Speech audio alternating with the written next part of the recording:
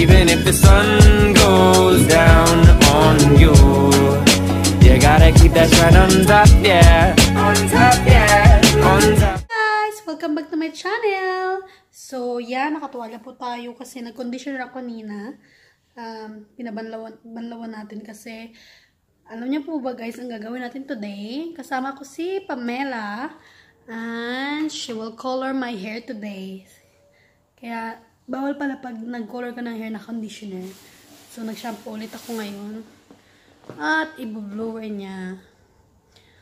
Ang aking hair, nasa pala yung pangkulay natin, boy.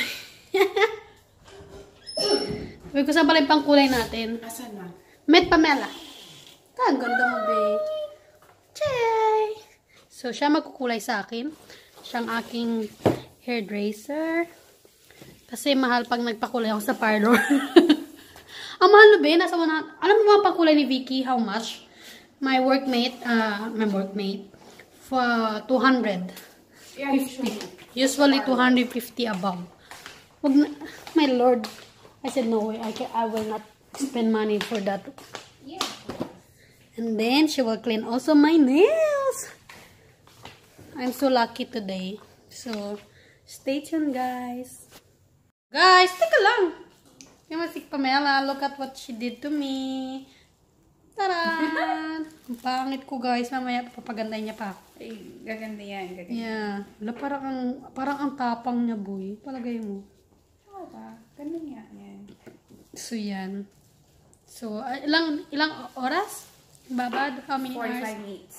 45 minutes, guys. Babalikan ko kayo doon. Hours. minutes lang pala, guys. OA pala ako. Sige. Guys, nagpapalinis ako ngayon ng kuko. Gamit na gamit ko po si Pamela today. Kasalapit pala yan. So, maginis po siya ng kuko. Anong patingin nga ng kulay ng ano nating kuko?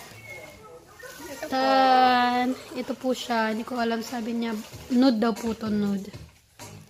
So, may sounds. My lord.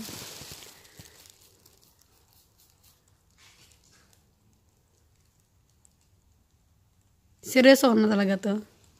So guys, pag gusto niyo magpakulay at magpalinis, um, call Pamela. ah, just call me first as message in this video. And ako nang bahala sa inyo. Um, naka-promo po kami ngayon. so, bale, isang paa kasama ang dalawang paa. Pag isang paa pinanis mo, kasama na yung isa. Free na yung isa. May ganun ba? Yung isa lang, yung isa lang papalinis mong paa, i-free namin yung isa. Ah, Magkano, magkano?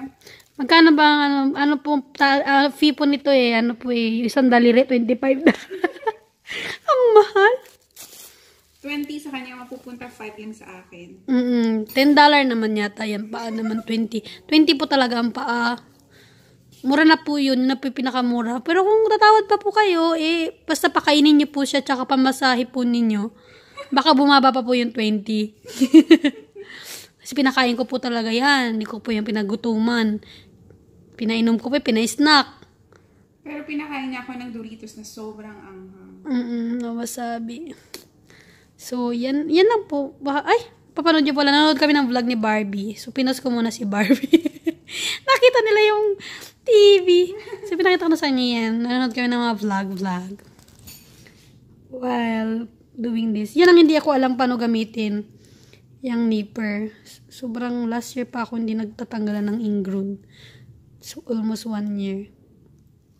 Guys, nakawa, ah, 46, ah, 40, 40 minutes na po tayo. 45 minutes. So, maliligo lang ako. So, titignan natin siya. Ganyan na siya. So, yung kulay niya parang talong. So, yun yung gusto ko. So, let's see. So, stay tuned guys. Babalikan ko kayo. Guys, nabanlawan ko na siya. So, hindi ko alam bakit parang guys, mag-blower na naman tayo. As usual.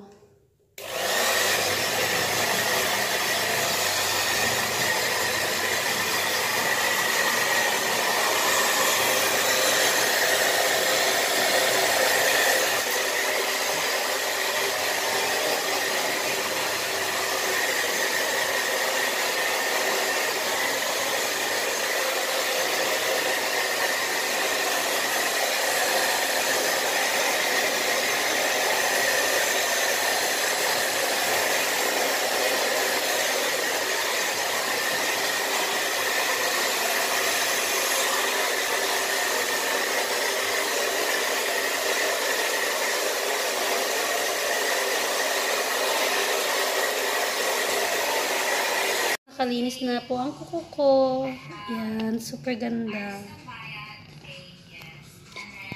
Guys, tapos na kayo magkulay. Hindi siya masyadong halata. Pag nasa araw, makikita niyo yan guys. Ika-plancha lang kami kahit bagsak na yung buhok. Ay, sorry ha. Tapos pipicture lang ko na lang sa inyo pag nasa labas na kami or sa may araw. Kasi guys, black hair pala yung sobrang natural black hair yung buhok ko. So, hindi agad dumidikit ang kulay. So, isang kulayan pa natin ulit next time. No, Pam? Yeah. Salamat talaga kay Pamela. Ay, hindi ko pala pwede tawagan niya. May isa lang pala tumatawag sa'yo.